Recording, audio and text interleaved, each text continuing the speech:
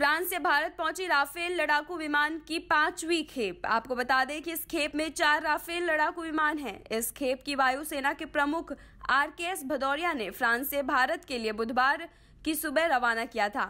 वायुसेना के मुताबिक ये चारों विमान 8000 किलोमीटर की नॉन स्टॉप उड़ान भरकर भारत पहुँचे थे। जानकारी के मुताबिक ये विमान गुजरात के जामनगर एयरबेस पहुँचे हैं। सौ फ़ीसदी प्लेसमेंट के साथ हम देंगे आपको मौका। Live 24 media institute admission open registration के लिए कॉल करें। Nine five six zero four six four one seven zero